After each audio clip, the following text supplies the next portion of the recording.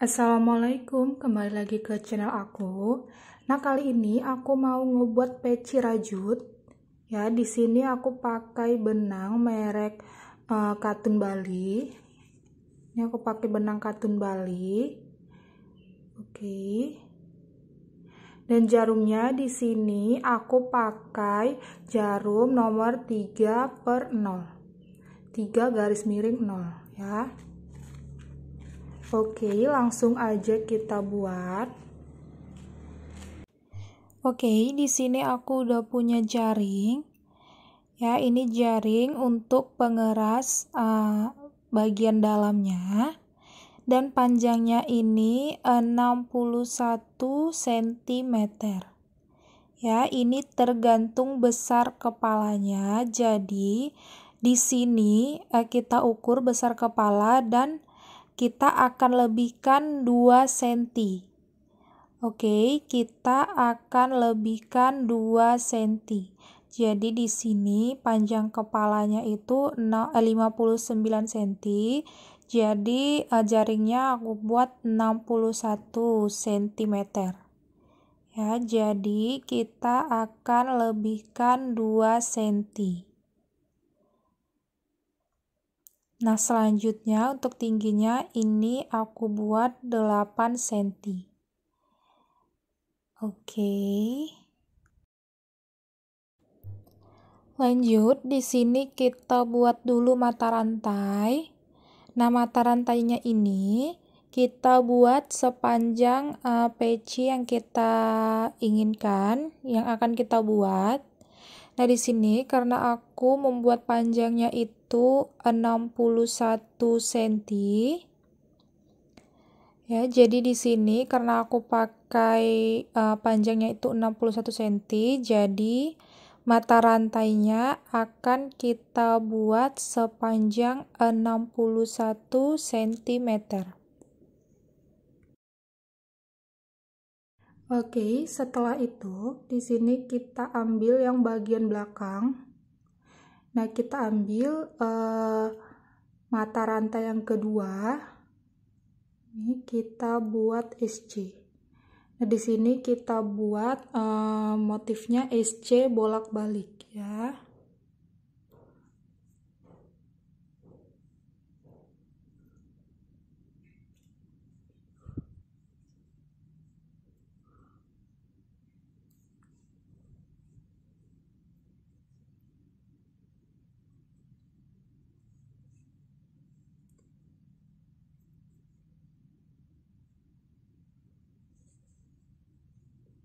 Nah, kita lakukan terus ini sampai ke ujung. Nah, ini setelah sampai ke ujungnya, kita buat satu mata rantai, lalu kita balik posisi rajutan. Ya, nah ini kita isi lagi dengan SC. Seperti ini. Nah, ini kita lakukan terus sampai selesai. Nah, ini sudah selesai. Selanjutnya, ini kita akan rajut bagian uh, samping-sampingnya supaya lebih rapi.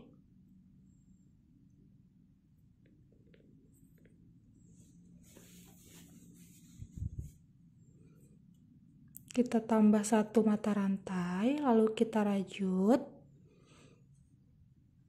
Kita rajut menggunakan SC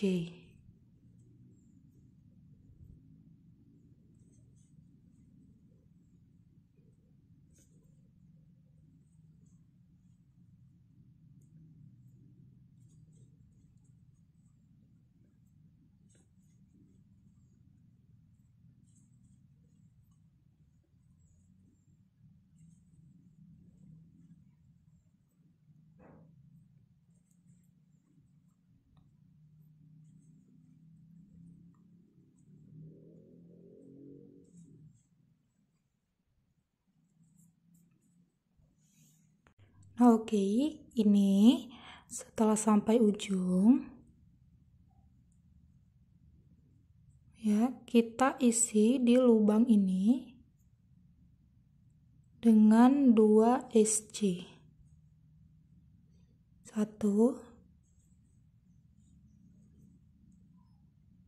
2 Oke, kita lanjut lagi ke lubang berikutnya.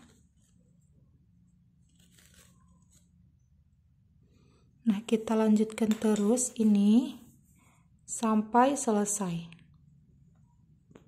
Oke, ini udah uh, kita rajut semua. Ya, pinggir-pinggirannya.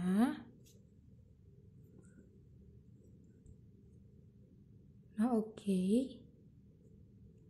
Di sini yang bagian terakhir kita uh, slip stitch ya. Seperti ini.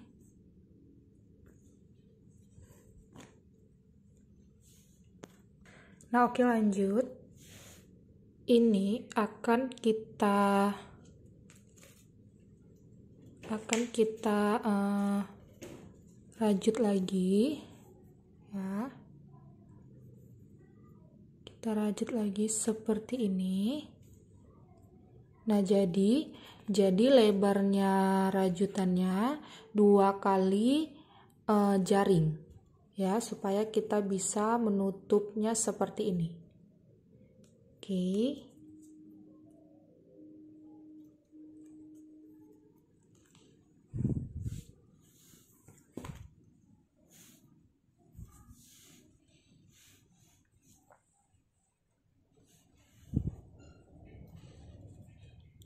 Oke, kita buat dulu satu mata rantai.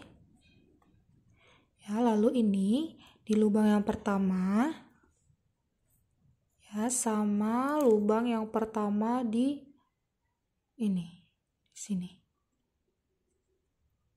Oke, lalu kita akan slip stitch seperti ini. Lanjut di lubang berikutnya.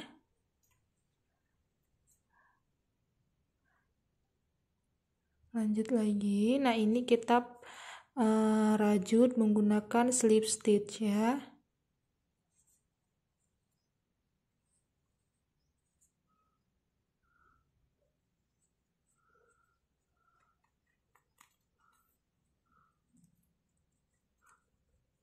oke okay.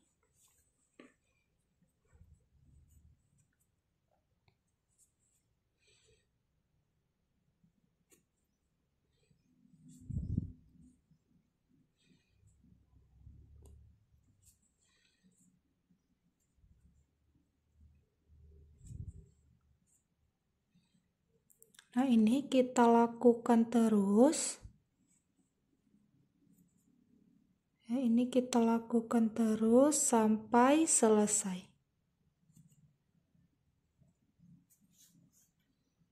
Oke, ini udah semuanya. Nah, selanjutnya kita akan uh, menghubungkan atau menjahit ya, menjahit sisi belakang. Oke, di sini ininya kita gunting dulu.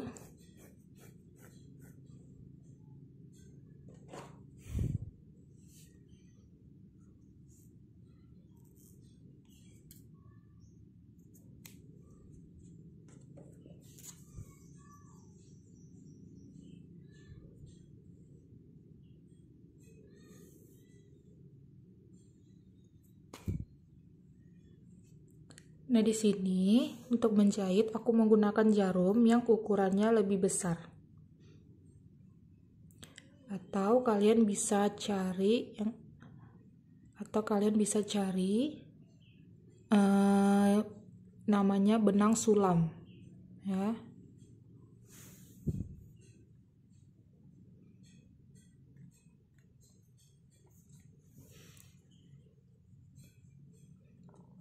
Oke, ini kita satukan dulu.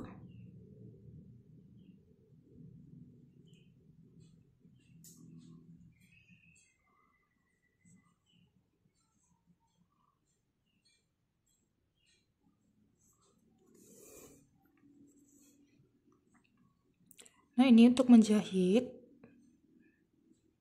kita ambil ya dulu aku kasih tahu ke kalian. Nih kita ambil yang kita nggak ambil semua seperti ini tapi kita ambil satu aja yang seperti ini. Ya kita nggak ambil dua-duanya tapi kita hanya ambil satu sisi saja. Oke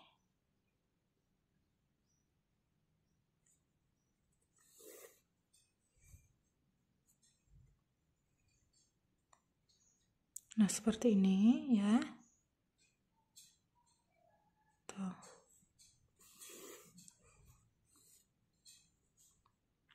Kita buat uh, satu lubang tuh dua kali.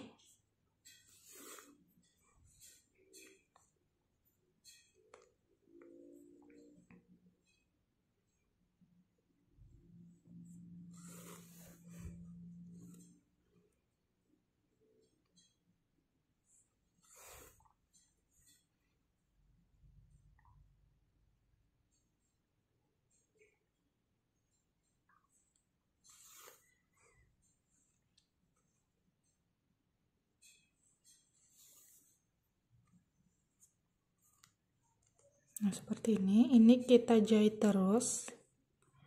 Ya, nih sampai ke sisi belakang. Nih, kita jahit terus ini. Ya, sampai ke sisi belakangnya.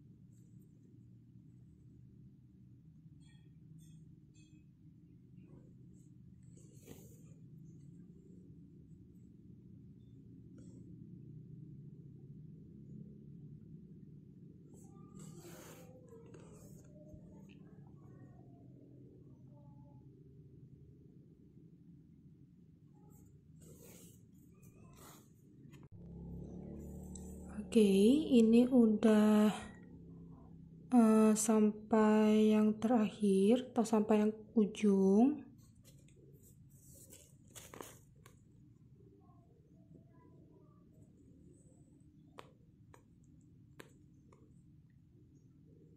Tuh jadinya kayak gini ya.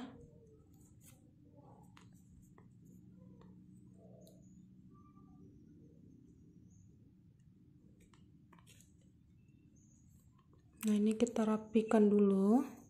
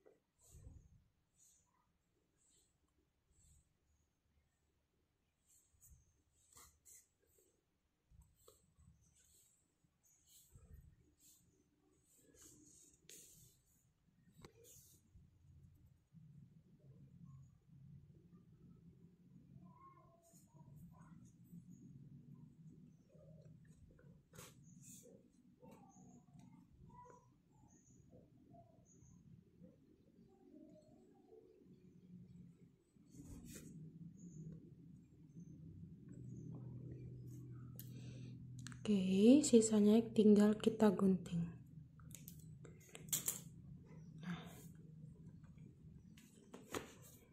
Nah, ini udah jadi bagian sampingnya. Nah, kira-kira tuh jadi seperti ini. Oke, lanjut kita akan buat uh, bagian atasnya.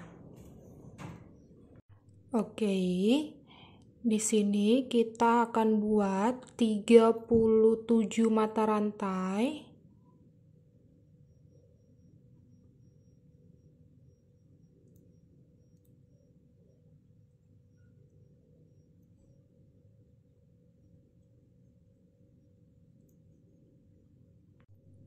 Nah lanjut, setelah 37 mata rantai, kita ambil mata rantai yang kedua, kita ambil yang bagian belakang.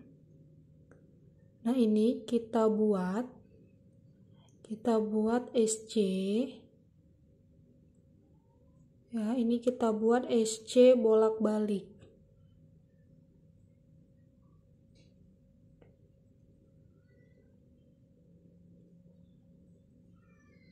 Oke, ini motifnya sama seperti pecinya, motif SC bolak-balik. Nah, ini kita buat terus sampai selesai. Nah, kurang lebih besarnya itu segini, ya. Oke. Kita akan lanjut.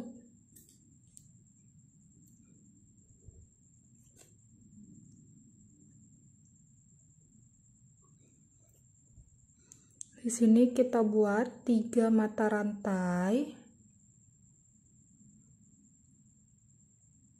Kita balik posisi rajutan.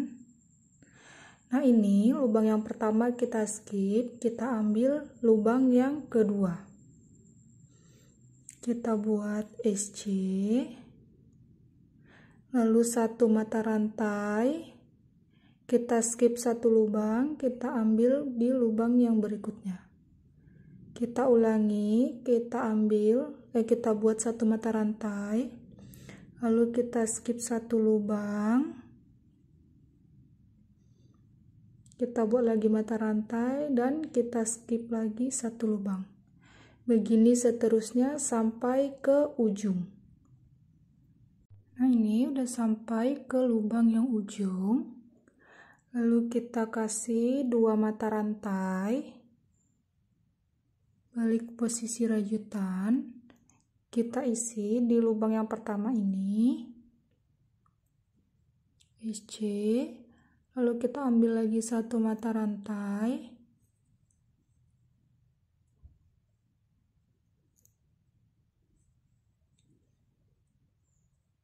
Oke, ini kita lanjutkan terus sampai ke ujung. Oke, ini sudah sampai ke lubang yang terakhir. Kita buat satu mata rantai, lalu kita balik posisi rajutan. Ini kita ambil yang lubang yang pertama. Ya, kita buat lagi satu mata rantai.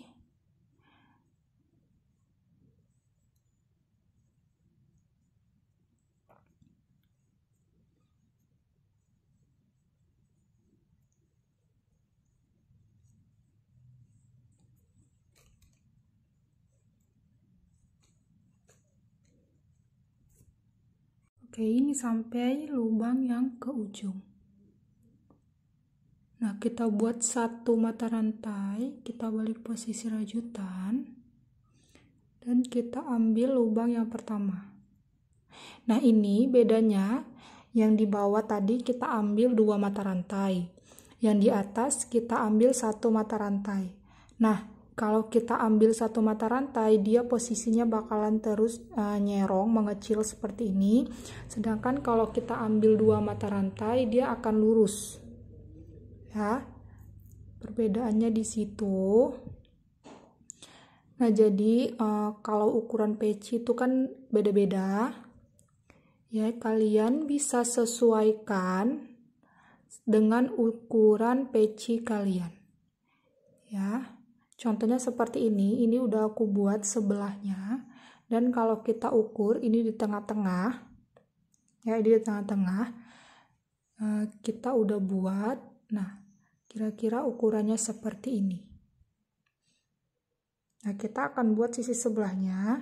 Dan uh, caranya tadi seperti itu ya. Kalau misalnya uh, kita buat yang ujungnya dua mata rantai, dia akan lurus. Tapi kalau kita buat satu mata rantai, dia akan menyerong. Jadi kalian bisa sesuaikan ukuran uh, panjang peci yang kalian buat. Oke, okay, dan ini kita lakukan terus sampai selesai. Nah, oke. Okay, ini ujung yang bagian sini itu tadi kita ambil satu mata rantai. oke ini kita ambil satu mata rantai jadi ini enggak ada lubang kecuali uh, lubang ini lubang kecil kita hanya ambil lubang yang ini ya berarti ini yang satu mata rantai itu enggak kita isi kita cuman sampai di sini aja. Lalu kita lanjut lagi di atas. Nah tapi kalau yang ujung ini tadi ini kita ambil dua mata rantai tapi masih ada lubang. Dan ini bisa kita isi. Oke perbedaannya di situ.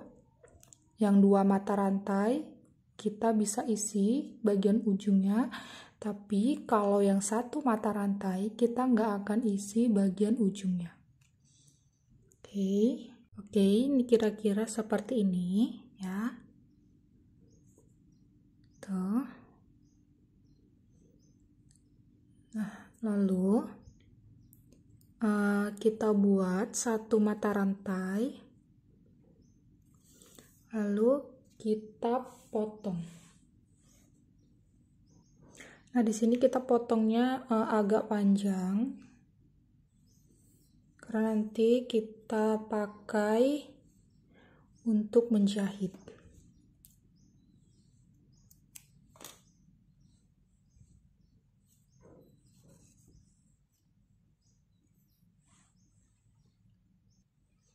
Oke, di sini aku menggunakan jarum yang ukurannya besar.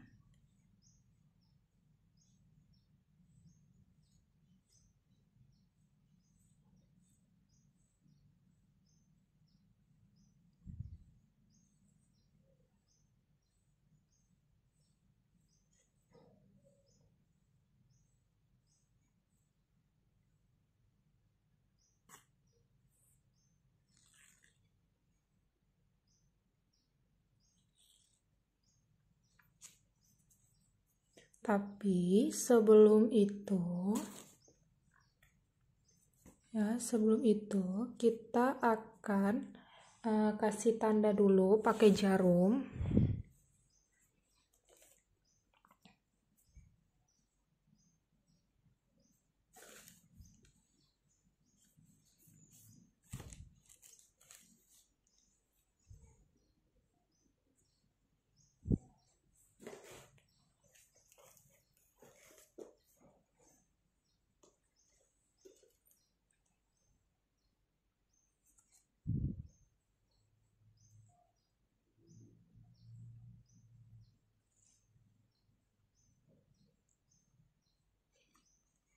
Tenain dulu ujung-ujungnya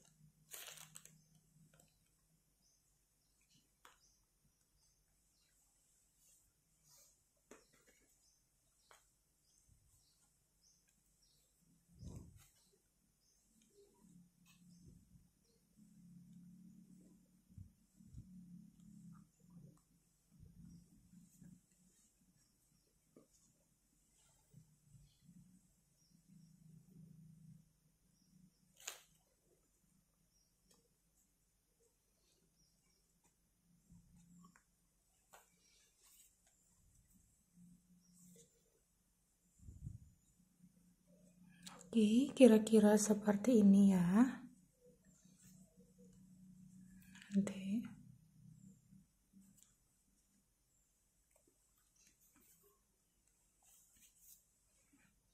Oke. Lanjut, sekarang kita akan menjahit.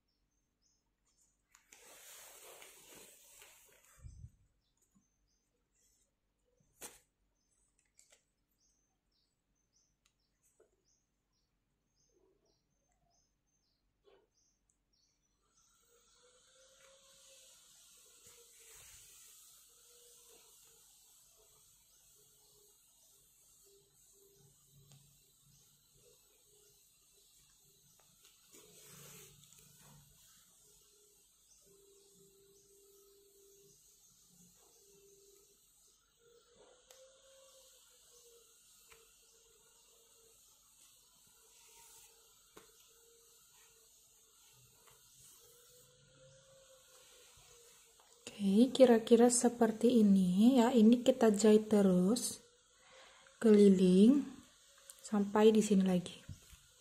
Oke. Oke, ini pecinya udah selesai. Makasih banget yang udah nonton dan selamat mencoba buat teman-teman semuanya. Terima kasih. Assalamualaikum warahmatullahi wabarakatuh.